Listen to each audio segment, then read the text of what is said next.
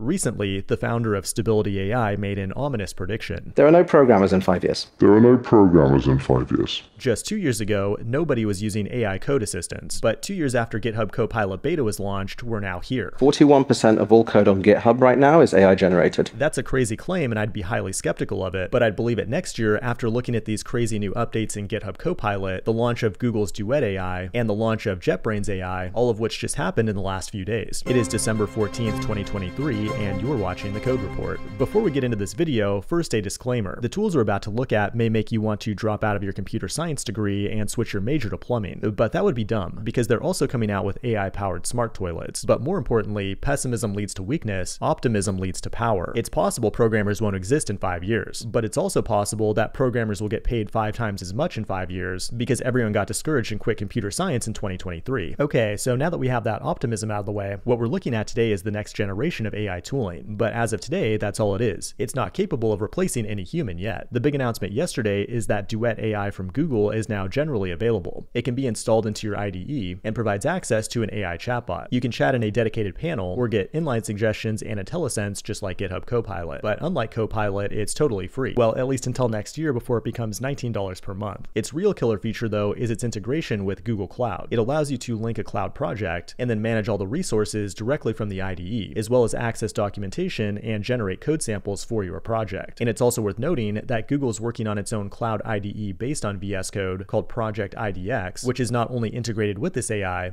but also has things like iOS and Android emulators built in that run on a cloud VM, so you don't have to download and configure a bunch of SDKs. Now, currently, its underlying AI model is not Gemini Ultra, which is claimed to be the best AI programmer out there. If that's true, Duet has the potential to be a GitHub Copilot killer in the future. But speaking of Copilot killers, JetBrains also just announced their new Copilot killer in December. It is possible to use Copilot in JetBrains IDEs, but the experience has never been that great. It just feels like it gets in the way more so than it does in VS Code. The AI assistant feels much more natural and well integrated, and can do things like chat, refactoring, write documentation, write unit tests, offer companionship, generate commit messages, and so on. But with a price tag of $10 per month, it costs nearly as much as the IDE itself, and the initial reviews are fairly mixed. What's interesting though is that it's powered by something called JetBrains AI service, and this allows the chatbot to be powered by multiple different models. There's not a ton of detail around this, but it's an extremely powerful idea. With Copilot and Duet, you have GPT-4 and Gemini, but with JetBrains, you could hypothetically hook up your own fine-tuned model, like maybe the open source Code Llama or Mistral, combined with the billions of lines of code at your company, allowing the AI to provide predictable responses based on your coding conventions. That's pretty cool, but at the same time, GitHub Copilot just leveled up big time. Previously, it was based on GPT 3.5, but now it's using GPT 4. It now has a dedicated chat window, so you basically have ChatGPT in your IDE, but what's really amazing is that it has this workspace command that allows you to search all the code files in your workspace to write code with the proper context in your project. So far, I've actually found it most useful for explaining code when jumping into an unfamiliar project. In other words, it makes it way easier to figure out what the hell is going on with this guy's spaghetti code. It also now writes your commit messages and is also available in the terminal to explain and refactor commands. But there's one big problem with these AI tools. Sometimes they spit out suggestions from code and repos that you're not allowed to use. And I really can't go back to jail. But luckily, Copilot will now search across billions of files in GitHub and will return the licenses on any similar code. And that means you can be relatively confident that you're not stealing someone's code. Well, I mean, you are stealing it, but you're allowed to. Overall, these changes are pretty amazing and extremely useful. These tools still can't build complex projects out of nowhere, but the big question is where are we going from here? Currently, Copilot doesn't run your code or create new files, but I think we're going there eventually. Like you might be able to just take your client's requirements and say, hey, build this thing in Django. Then Copilot will run the commands, create the files, and run the unit tests required to make that a reality. Then you'll continue fine tuning it with multiple shots or prompts until it builds exactly what you're looking for without ever touching a line of code. Another missing piece is image data. There are already tools that can convert a screenshot into code, and as these tools get better, we'll likely see them integrated directly in the IDE. Now, even if this stuff does get really good, I wouldn't be discouraged as a programmer. Right now is one hell of a time to be alive. Code is just a means to an end. Even if programming becomes obsolete, there'll still be engineers pushing the limits of whatever comes next. Like, we still need to develop robots, brain chips, quantum computers, euthanasia pods, laser guns, space travel, time travel, and all sorts of other sci-fi bullshit, and it's gonna take some good old-fashioned problem-solving engineers to do that. So stay optimistic. This has been the Code Report. Thanks for watching, and I will see you in the next one.